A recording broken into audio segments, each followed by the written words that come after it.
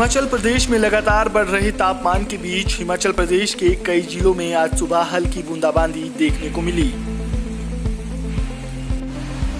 मौसम के इस बदलते मिजाज के कारण प्रदेश वासियों को गर्मी से राहत मिली होगी। जिला कुल्लू के निचले इलाकों में जहाँ आज सुबह हल्की बूंदाबांदी देखने को मिली तो वहीं ऊपरी क्षेत्रों में भारी बारिश हुई। मौसम विभाग की माने तो आने वाले दो से तीन दिनों में इसी तरह का मौसम रहने का अनुमान है। जिससे प्रदेश में तापमान में भारी गिरावट देखने को मिल सकती है। Bureau report, central news.